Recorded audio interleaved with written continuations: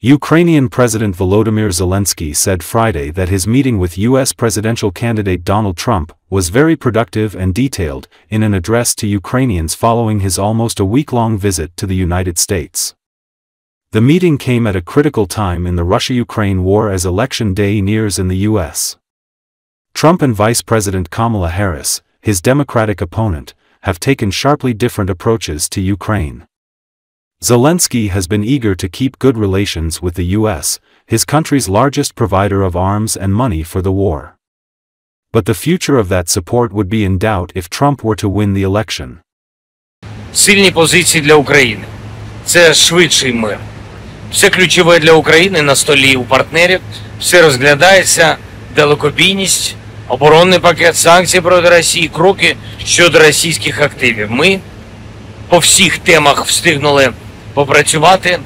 Готуємось до зустрічі в Німеччині в рамках Рамштайну. Це формат, де разом з партнерами ми будемо йти за змістом пунктів плану перемог.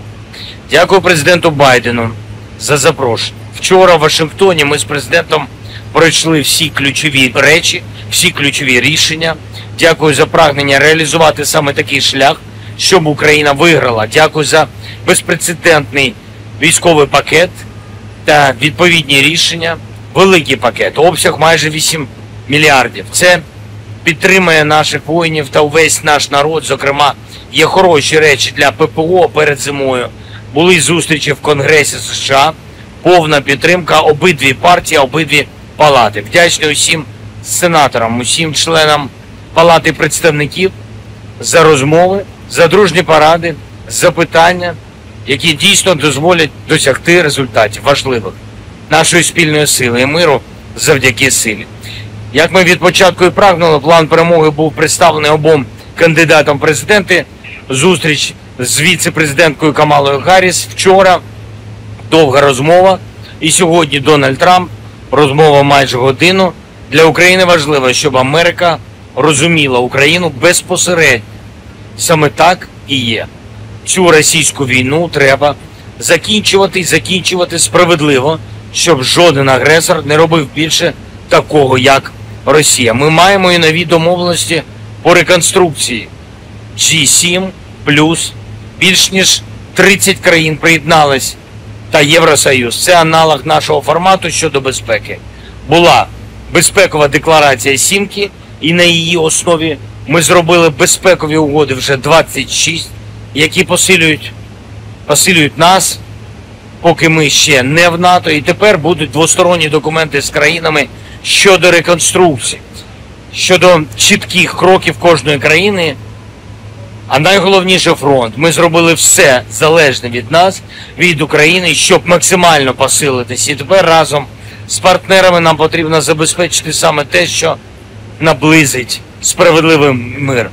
Росія повинна програти цю війну, Україна має виграти, і це реальні основи для спільної безпеки. Мир завдяки силі. Дякую всім, хто нам допомагає. Слава Україні!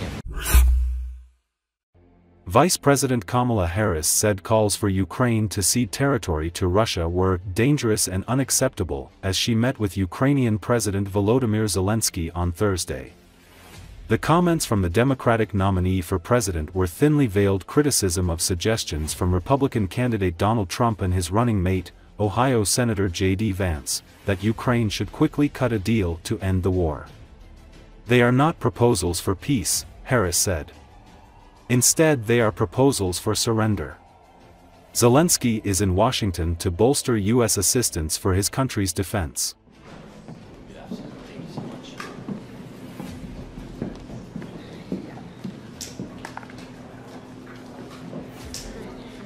As I have made clear on our six previous meetings and throughout Putin's brutal aggression and war against Ukraine, my support for the people of Ukraine is unwavering. I've been proud to stand with Ukraine. I will continue to stand with Ukraine, and I will work to ensure Ukraine prevails in this war. The Ukrainian people are bravely defending their homes and their homeland, their freedom and their democracy against a brutal dictator. And the American people know well the meaning of freedom. of independence and the importance of rule of law. These ideals are central to who we are as Americans. And some of the most important moments in our history have come when we stood up to aggressors like Putin, just as we must today. If Putin is allowed to win, they will become emboldened. And history reminds us, and history is so clear in reminding us, the United States cannot and should not isolate ourselves from the rest of the world. Isolation is not insulation. So then, the United States supports Ukraine not out of charity, but because it is in our strategic interest. We will continue to provide the security assistance Ukraine needs to succeed on the battlefield, as demonstrated by President Biden's significant announcement earlier today.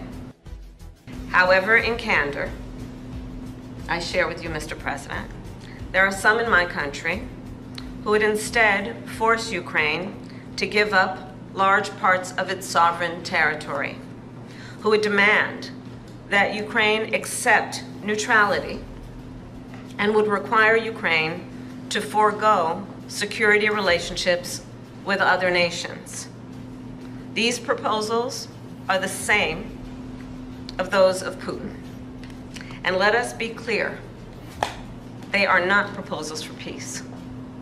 Instead, they are proposals for surrender, which is dangerous and unacceptable. We have to keep pressure on Russia to stop the war and to make truly lasting and just peace. It's a top priority for us and for other freedom loving nations to achieve not a freezing, but real, real peace for us.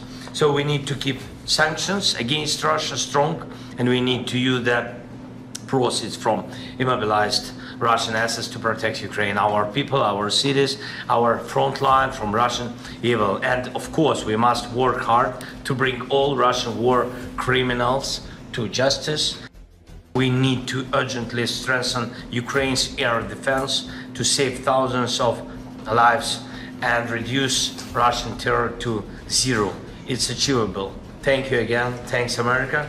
Thanks to you, Madam Vice President. Slava Ukraini. President Zelensky. Here, we're Can you gonna- Thank you, Press. Can you comment on Eric Adams, Vice President?